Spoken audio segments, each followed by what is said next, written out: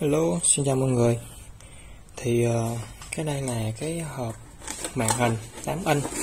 Thường thay thế cho máy triệt lông và máy uh, laser. Thì uh, có rất nhiều anh em lấy màn hình bên mình Nhưng mà chưa có rõ về cách lắp đặt Cũng như đấu nối dây. Thì hôm nay mình sẽ review và hướng dẫn một cái uh, màn hình 8, 8 inch ha. Nó có hai loại màn hình 8 inch và màn hình ờ, 10.4 inch.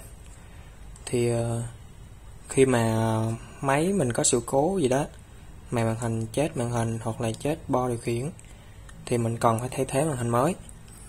Thì lúc đó mình sẽ cứ liên hệ mình sẽ có một cái màn hình giống như vậy. Thì kích thước thì mình đo chiều dài chiều rộng thì mình sẽ xác định được kích thước bao nhiêu inch ha.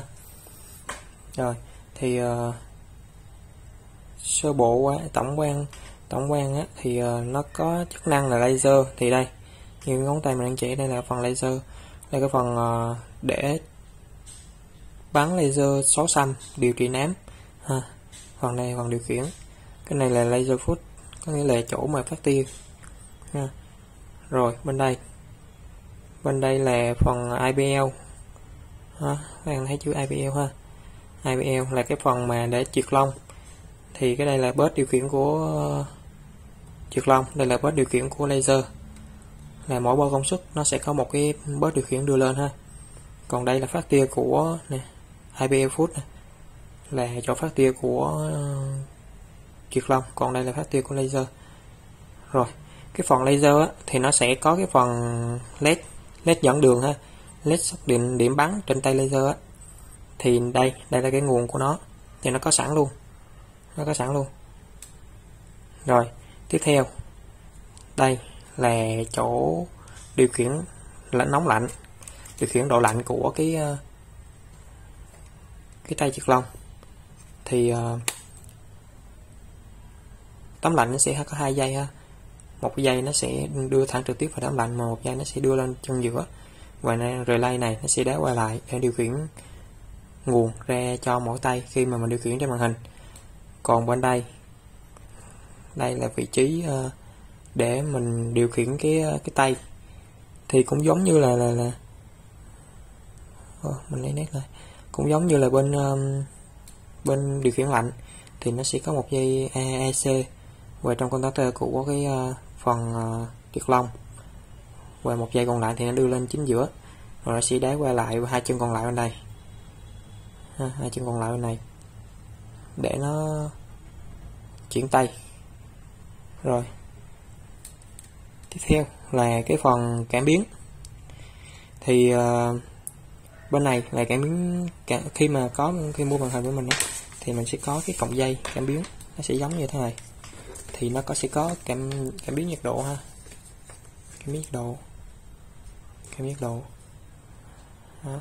rồi cái này là sẽ cảm biến nước. Mình sẽ cắt cái này ra rồi mình đấu vô hai chân của cái miếng nước. Rồi mình cắm vô cái dắt này. Để được. Dắt sẵn của nó ha.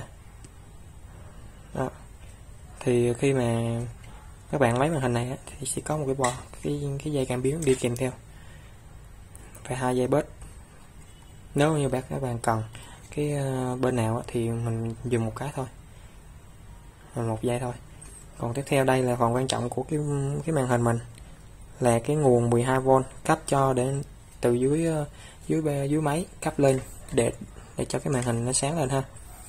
Thì đây, thì nó sẽ có chân ký hiệu là 0V 12V thì các bạn chỉ cần cấp đúng cái nguồn xây chân xây chân nguồn trên cái bo điều khiển á cái ghi á, thì sẽ được thôi. Thì sẽ cắt nguồn cho màn hình rồi. À, tổng quan thì ờ, còn bên đây là là cái phần RF phần RF mà này RF là cái trong những cái máy mà đời đời đầu á, nó sẽ có cái, cái bo RF nữa. Nhưng mà hiện tại bây giờ thì hầu như mình không thấy không gặp nữa. Nó chỉ dùng sử dụng hai chức năng là triệt lông và laser thôi. Đó, cả có cả bo RF luôn ha. Là cái màn hình này điều khiển được 3 trong một. Nhiều bạn trong nghề lâu năm sẽ, sẽ, sẽ, sẽ gặp sẽ gặp cái máy 3 trong một. Rồi cái màn hình này được thay thế được cho cái đó luôn. Ha. rồi, chức năng nó chỉ có như vậy thôi. Rồi, đây là tổng quan về cái màn hình. Rồi.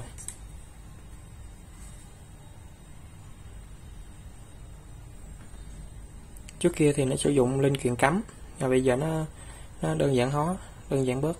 Và chất lượng linh kiện vẫn như vậy ha nó chỉ chuyển từ cắm sang dán thôi. Còn mọi thứ linh kiện và chất lượng cũng đều như vậy. Nên mình nhìn cái cái bảng điều khiển của nó hơi hơi hơi, hơi trống.